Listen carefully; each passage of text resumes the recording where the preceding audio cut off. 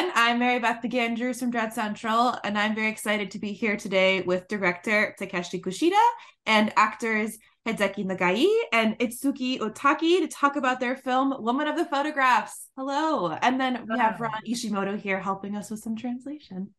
Hi, everyone. Hello, everyone. Um, cool. So my first question is for Takeshi, and I wanted to hear more from you about where the idea for Women of the Photographs came from for you.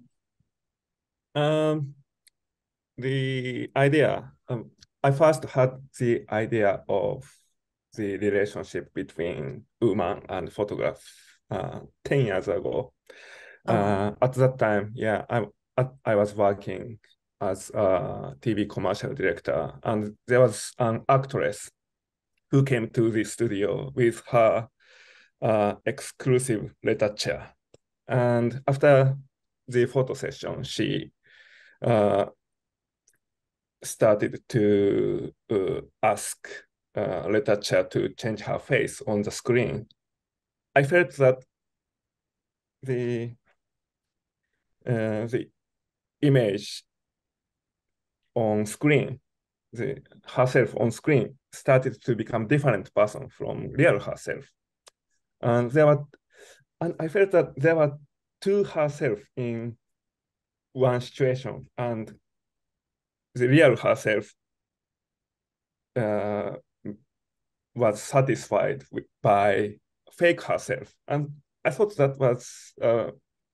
interesting. And and nowadays, a lot of people uh, are doing retouching by herself. So I thought this, this is a good time for making a film about photographs and retouching and women cool. right now. Awesome. And then my question this is for Hideki and Itsuki. I wanted to hear about what drew both of you to this project. And I wanted to start with Itsuki first. えー、お大滝さんの方のあのいあのこの映画の中であの一応主役な主役としてどういう感じの印象あの全体的にどういう印象ですか印象ですよね。印象。あ、でも本当に最初に台本を読んだ時には、えっと、全然わからなかったです。な、どういう、なんかこう、すごく、串田さんの作品は、その、なんだろうな、ビジュアルのインパクトがすごくて、そのなんか台本から、こう、私は読み取れるものが、こう、なんていうのかな、明確じゃなかったから、最初はよくわからなかったっていうのが、最初のファーストインプレッションみたいな感じです。それでいいのかなはい。Um, Mary Beth, uh, for Itsuki, uh, uh, as far as um, her, from the first time she re read the script, uh, she was not really sure or very clear about what her role would be or what what type of person she should be portraying. And so she slowly picked that up as as she as she went along. She oh. was actually not that sure throughout, and she knew that the director was uh, somebody who's very visually uh, impactful person. So she she was trying to follow the director along with, with that in mind. Oh, I have the same question um, for Hideki. Okay. あじゃあ、長井さんに同じ質問になります。はい。え、何でした？でしょう最初この映画の中であのこういう役をあの、えー、取った取ってどういう気持ちとか印象でしたか？映画全体の印象ですかね？えー、そうです。あの自分の役ですか？この映画の中。はい。ああ。あのー、正直、そんなに何も考えてなかったです。あのー、あのに、日本の日常にある日常に生きる一人の男っていう感覚しかなかったです。それだけですね、まず。Uh, Mary Beth, as far as uh, Nagai-san goes, as his uh, impression of what role he was going to be playing within the film or his uh, function was that he was supposed to be a very ordinary person in ordinary Japanese life. So in that sense, he did not think very deeply about his role or his function, nor did he try to actually. Oh, interesting. That's really interesting. Huh. And this question is from for going back to Hideki-san. What was the most challenging part of being in the film? えーこれはまた永井さんにですけど、あの、この、あの、映画を作るとき、どこが一番大変なとこでしたかまあ、あの、見てわかるように、このカイという人間は喋らないですね。だから喋らないことによって一つ伝える機能がなくなっちゃうので、残りの部、部分でどう伝えるかっていうのが、まあ難しいんだろうなと思いました。Uh, Marybeth, uh, as you know from the film, that uh, the role that uh, he plays as Kai is so- somebody who speaks very little or none at all.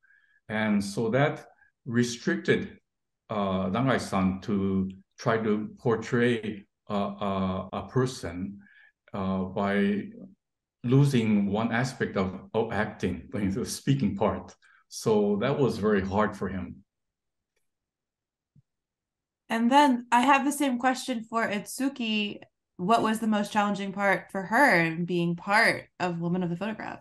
So, えー大滝さんにも同じ質問ですけど、あの、この映画やってる時、どこが一番難しいとこでしたか？まあでもやっぱり、あの、セリフが少なくて、結構その、体で表現とか、まあまあダンスもあったし、あと、まあ息に飛び込んだりとかもあったから、そういう部分での、その、体の表現みたいなところは、そうですね、チャレンジングパートだったかな、と思います。 Uh, Mary Beth, for uh, Itsuki-san, uh, she also found it difficult in the sense of she did not have that much of, to speak. She was not able to use uh, speaking as part of her expressive uh, ideas. She had to do it with uh, body movements, dancing, all of that. And this was pretty challenging for her. you have very awesome movements, movements though. They were very beautiful. Wow, thank you.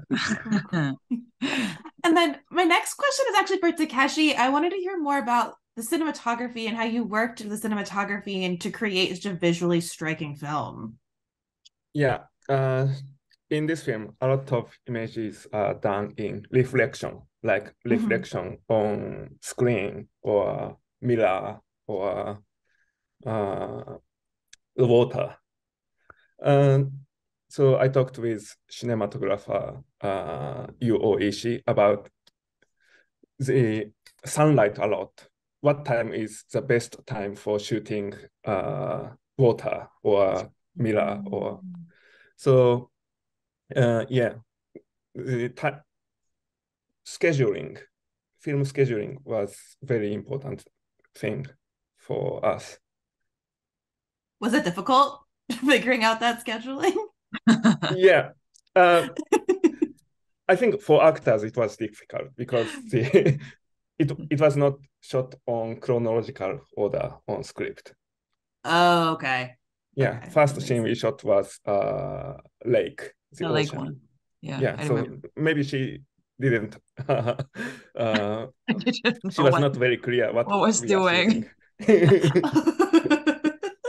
and then, you know yeah yeah, sunlight was the best time so we had Yeah. to make that choice that's amazing. And then I was, uh, how did you like work to get these beautiful poses and everything? Like, how was that like kind of choreographing Itsuki-san's movement in this film? oh i asked uh itsuki-san to decide the pose so yeah Oh, it was her it was her her Yeah, my Yeah. idea. No. That's so cool. Yeah, we had a few rehearsals, so we decided together. That's amazing. And then Takeshi, I wanted to hear also about why you chose the um the praying mantis as like the part like a very central visual metaphor for the film. Yeah, um, this was my first uh, feature film. So I, I had to, I wanted to make sure the uh, who is the target audience because uh, I, knew that I'm going to uh, be confused on film shooting during the film shooting. And I decided the target audience is a male over 35 year, years old, which is myself. And so for a film for men, the if the film is for men, the villain should be female. It's it's a simple thing. So I started to do a research about the scary stories of female, and and I found the praying mantis eats the male mantis after mating. Cool. It's a really yeah. good metaphor. It's really and it's Mm. really striking the whole time, especially holding the praying mantis and the sounds, the sound design with the sound of the eating of meat. it's so good and disgusting, but in a good way. Yeah.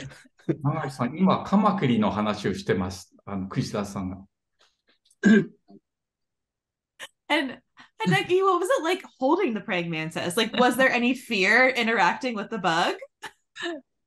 で永井さんにですけど、えー本当にこう、カマキリを自分の手でこうも持ってるっていう感じもありましたけど、なんかそういうところで怖いとか気持ち悪いとかありましたか？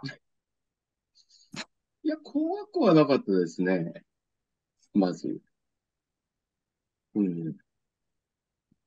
あと、うん、意外と、まあ言うことは聞かないんだけど、まあ意外とちゃんと接してくれる彼は、彼らは。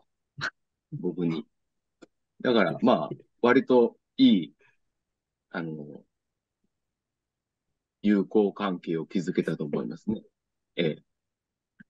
Uh, Mary Beth, uh, for, according to Hideki-san, he did not really feel too disgusted or anything with the praying mantis. However, he did feel that uh, it was quite cooperative with him. So he felt a certain amount of uh, appreciation and uh, and uh, almost liking the, uh, the the mantis. Amazing. That's so cool. well, Takashi, Hideki, Itsuki, Ron, thank you so much for joining me today to talk about Women of the Photographs. And everyone, it is on VOD on February 7th.